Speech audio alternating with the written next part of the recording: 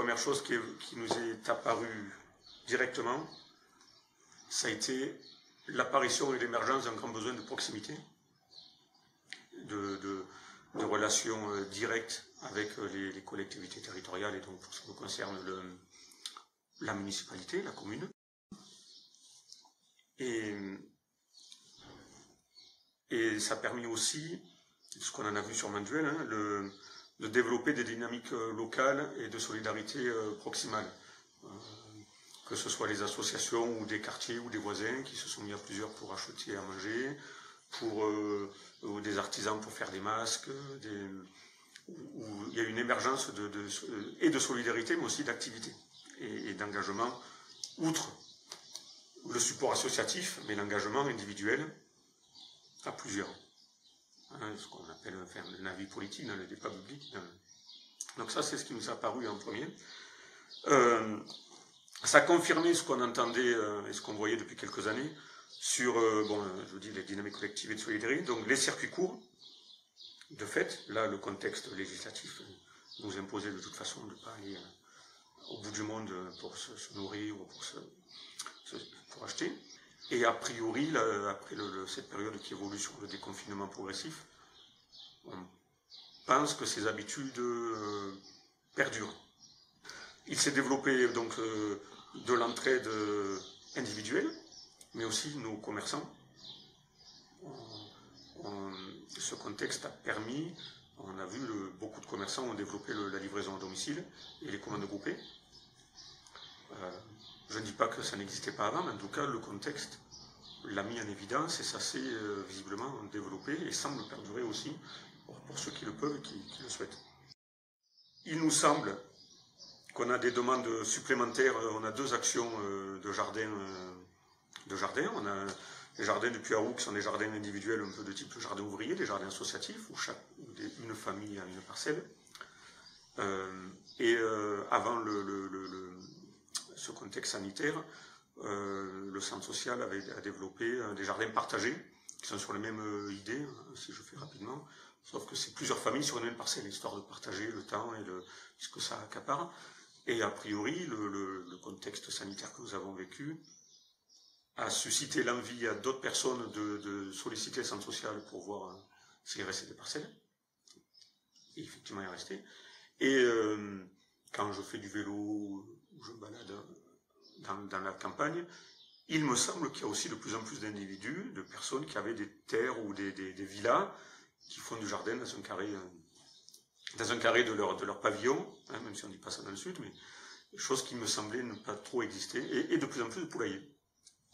Il me semble que dans les discussions, les, questions euh, euh, environnementales reviennent, euh, reviennent sur le devant de la scène plus que d'autres questions économiques.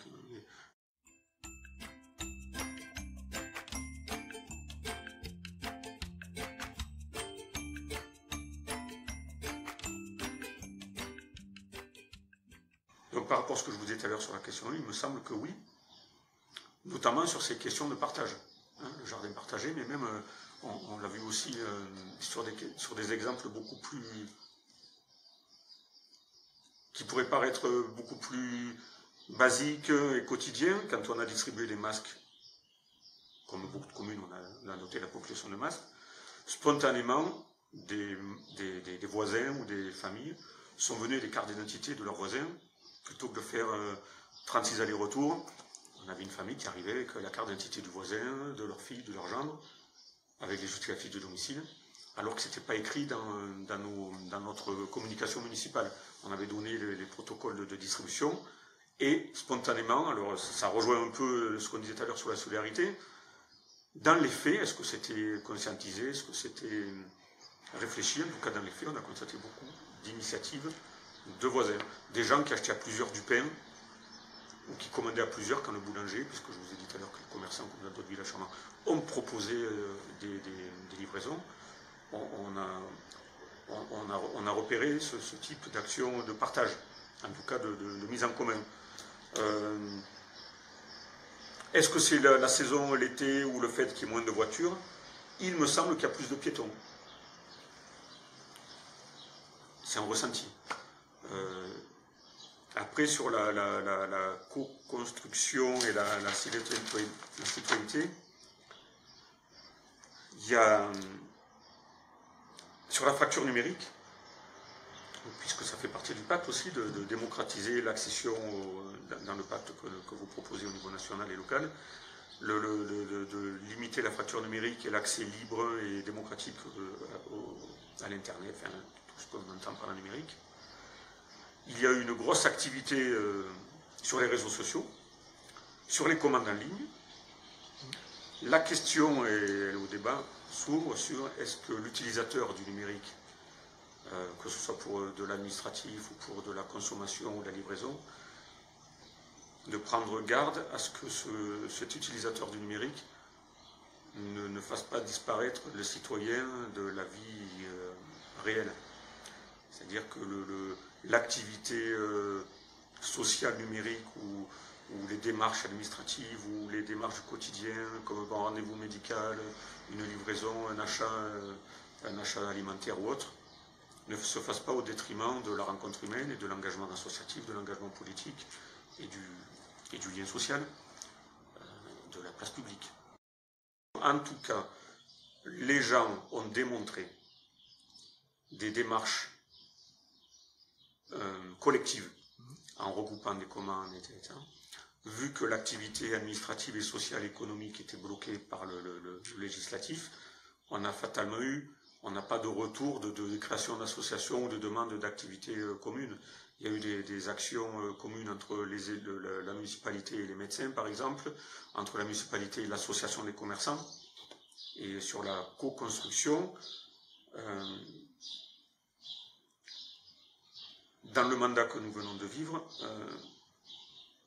on n'a peut-être pas été assez loin, et ce, contexte va peut-être nous permettre d'amener d'autres outils de, de, construction et de rencontres citoyennes. On a créé un conseil municipal de jeunes et un conseil des sages on a essayé de multiplier un maximum de réunions publiques qui sont plus de l'information que la construction, mais enfin, et euh, c'est vrai qu'il y a peut-être euh, encore autre chose à développer sur, euh, sur, toutes les questions qui engagent le, politique et l'engagement public. Je sais qu'on a participé en décembre avec la DDTM, enfin l'ex-DDE et la préfecture sur les, les écoquartiers, hein, si, on, développe l'urbanisation par exemple. Et donc, cette question de, l'urbanisation euh, proposée au débat citoyen sur le contenu de l'urbanisation est à l'œuvre même au niveau des, services de l'État, visiblement. En tout cas, le débat y est. Euh, je ne sais pas si ces deux mois de confinement et de crise sanitaire ont accentué ou ralenti ce, mouvement qui, semble exister même dans l'administration.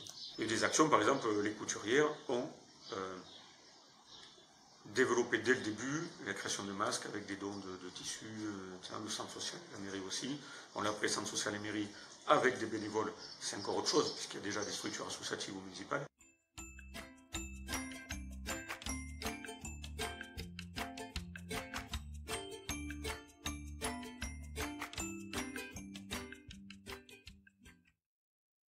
Donc, comme vous l'avez compris, on est une équipe sortante. On a signé le pacte, une partie du pacte, en tout cas certains engagements.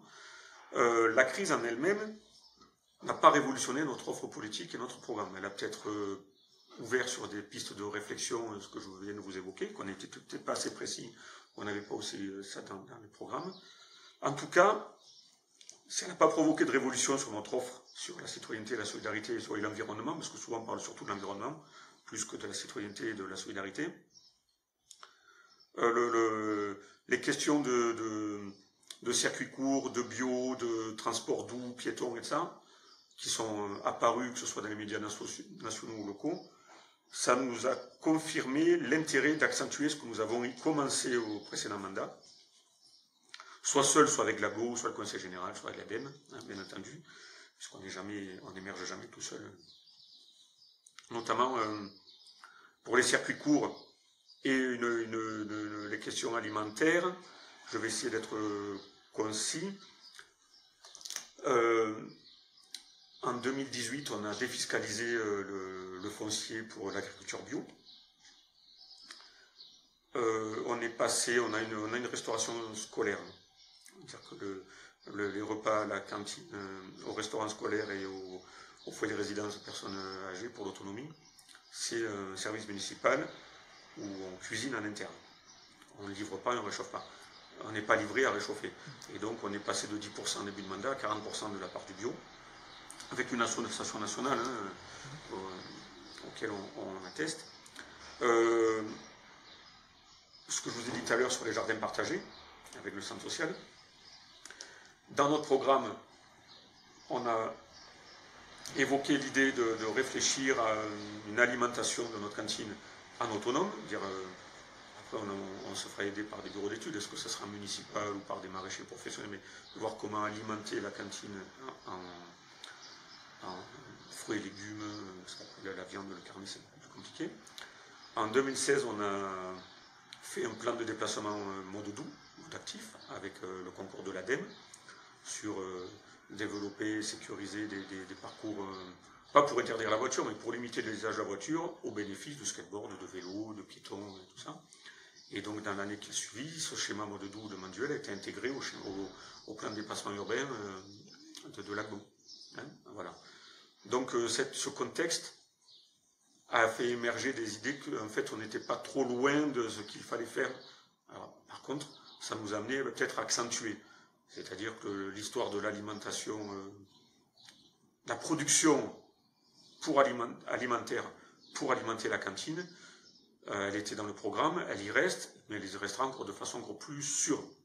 Euh, on avait déjà idée de voir avec vélo, de faire des vélos tango pour aller jusqu'à la gare hein, de Manduel avec des bornes. Et ça, ça serait peut-être plus adapté effectivement d'accompagner quelqu'un à s'équiper en vélo électrique plutôt que de laisser sur la commune de Manduel des vélos électriques. Donc ça, ça, ça nous amène une réflexion, et c'est le contexte lié qui nous amène à être plus précis dans notre offre de campagne. Ça, c'est effectivement lié au contexte.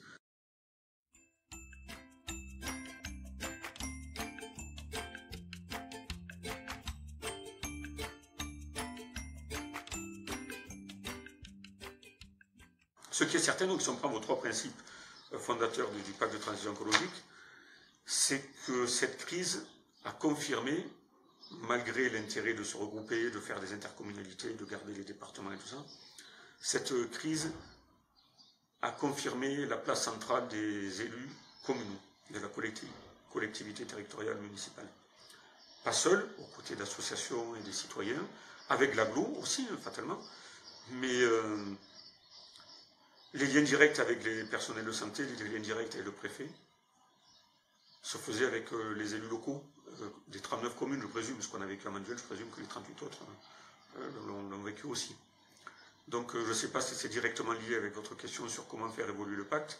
En tout cas, je ne sais pas vers où vous vous invitez à réfléchir un peu plus, ou nous réfléchir avec vous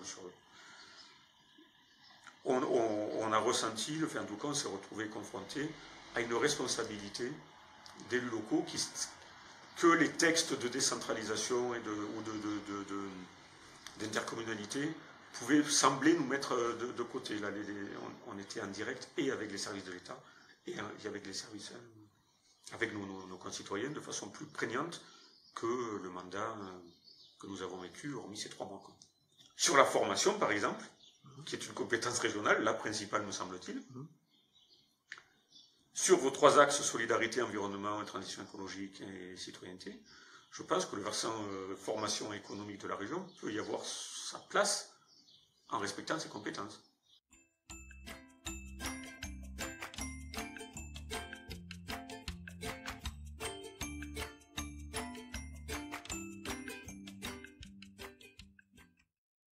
Donc la, question de l'énergie, elle est euh, sur le, Au niveau de l'aglo, on pourrait réfléchir euh, dans le, PCAET avec le volet énergie sur la production d'énergie, éventuellement, hein, sur les, surfaces euh, soit euh, habitables, mais aussi la question de l'économie d'énergie et de la consommation d'énergie.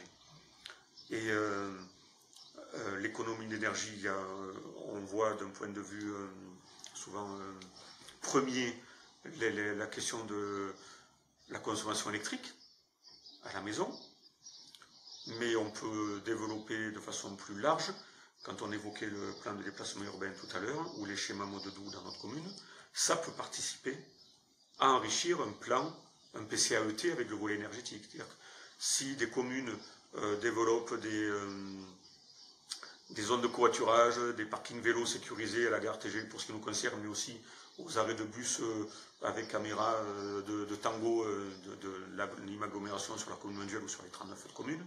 Ça participe de, notre point de vue à l'enrichissement d'un volet énergétique au PCAET. Il y a la consommation et aussi ce qu'on ne consomme pas. Je pense aussi à la prévention des déchets. Ça peut paraître loin de l'engagement euh, solidaire et citoyen, qui sont de vos items. Et là, c'est typiquement de l'environnemental et du financier.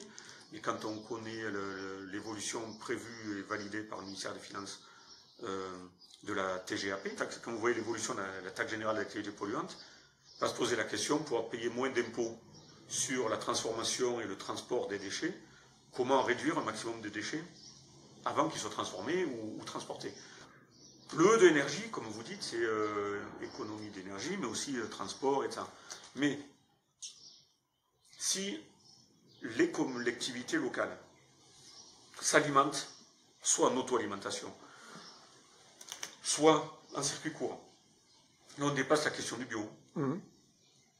si les commerces aussi, et les centrales d'achat, euh, des, enseignes que nous avons sur nos communes réfléchissent sur cette proximité, de fait, il y aura moins de dépenses carbone et ça alimentera peut-être un petit paragraphe, mais ça alimentera un des items de la. Ça peut alimenter, en tout cas de mon point de vue, ça peut alimenter une, un paragraphe du, E du PCAET, de la, du volet énergie. Pas directement lié au transport urbain, comme on l'imagine, ou pas directement lié à l'économie d'énergie euh, sur la voie publique avec euh, les, zones d'ombre ou euh, les, réseaux bruns ou, les, consommations des bâtiments publics. Mais de fait, si on se déplace moins ou si on fait moins, si les distances d'approvisionnement sont réduites, de fait, le volet énergétique sera réduit aussi. La consommation énergétique carbonée sera réduite aussi. Et donc, ce n'est pas directement lié à la compétence de l'aglo sur le transport collectif, mais sur le territoire de l'aglo, s'il y a moins de déplacements liés à l'alimentation, ça fait de fait moins de pollution atmosphérique et le A du non R, le A du PCAT, euh, ne qu'améliorer, me semble-t-il.